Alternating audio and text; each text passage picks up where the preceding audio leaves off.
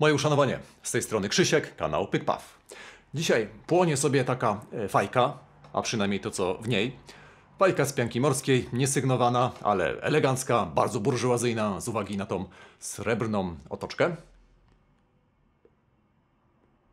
No ale my tu nie o fajce, tylko o gwoździu programu, czyli Gavit Hogarth Best Brown Number 2, czyli tak zwany Best Brown dwójka. Jest to e, kombinacja Virginii oraz Barleya, wszystko to suszone ciepłym powietrzem.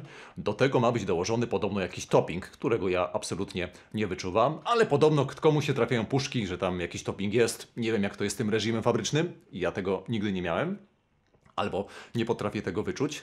Natomiast wyczuwam poszczególne składniki, które tam są zawarte. Z jednej strony mamy taką właśnie kwaskową, kwiatową e, Virginię, e, zapach kojarzący się trochę z takimi agrestami, no i z takim octem jabłkowym. Ten ocet akurat to jest dodany element związany z tym, że tytoń troszkę już u mnie leży. No już z kilka lat, już, już nie pamiętam ile.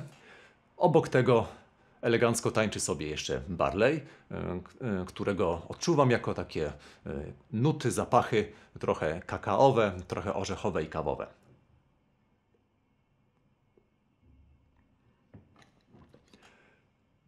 Tytoń w formie płatków, łatwych do rozdrobnienia, łatwych do nabicia, łatwych do palenia.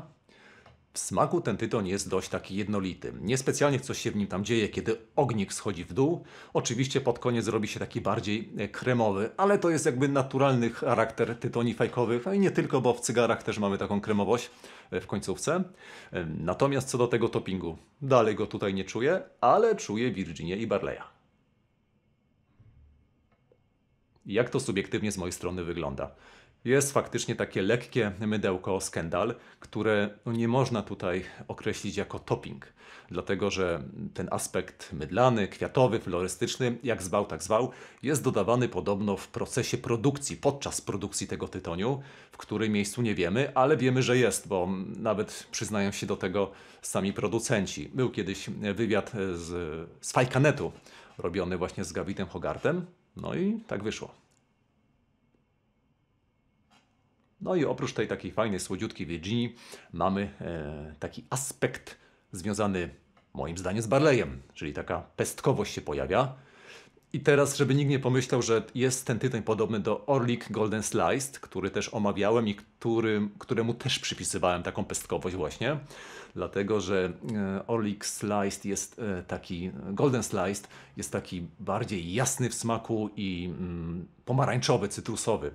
Ten zawodnik natomiast, proszę ja Was, jest dość ciemny, jeżeli można tak to metaforycznie określić. Ciemności mu dodaje właśnie ten Barley. E, te nuty barleyowskie tu odczuwam jako takie, no, dalekie kakao, ciemny rum, też dalekie skojarzenie. Nie powiedziałbym, że tutaj są jakieś orzeszki. Bardziej bym się skłaniał ku tej pestkowości. Jeżeli miałbym właśnie określić holistycznie ten smak, to właśnie ująłbym go jako półwytrawną pestkowość.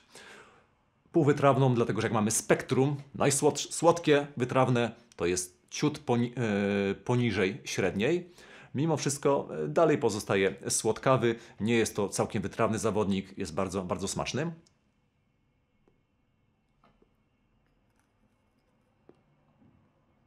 Pali się dobrze, nie, gos, nie gorzknieje, nie zostawia też jakiegoś specjalnego brudu na dnie fajki. Co do mocy, no to jest on lekko powyżej średniej, ale nie za dużo. Room note, nie mam pojęcia, staram się palić w domu jak jestem sam, żeby innym nie przeszkadzać, bo to mimo wszystko jednak jest zapach tytoniu, a nie cukierków.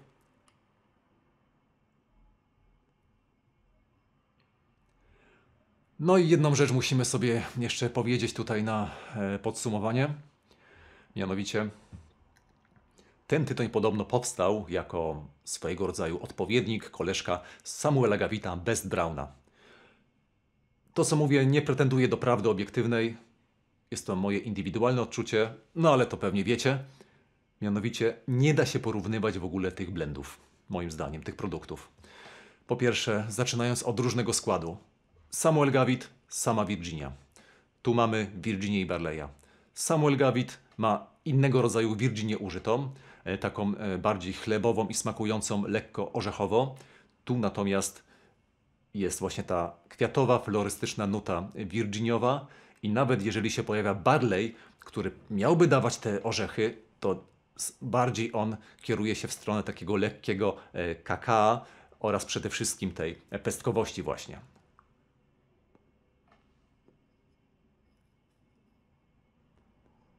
Muszę przyznać, że jest to naprawdę dobry produkt. Palę go rzadko, bo mam raczej dużą rotację w paleniu tytoni. E, Natomiast jeżeli ktoś tego nie palił, to oczywiście jak najbardziej polecam. Tylko nie myśleć, że będzie smakował jak Best Brown od Samuela Gavita. Jeszcze raz podkreślam. Ale jeżeli ktoś ma inne zdanie, proszę bardzo, proszę się podzielić. Jak mówiłem, to jest moje tylko subiektywne odczucie, subiektywna impresja. No, to sobie będę dalej palił i cóż, zostaje mi tylko się z Wami elegancko pożegnać, podziękować za oglądanie. No i widzimy się pewnie przy e, kolejnych filmach, bo takie już mam w planie. Także dzięki jeszcze raz za oglądanie, no i na razie, trzymajcie się.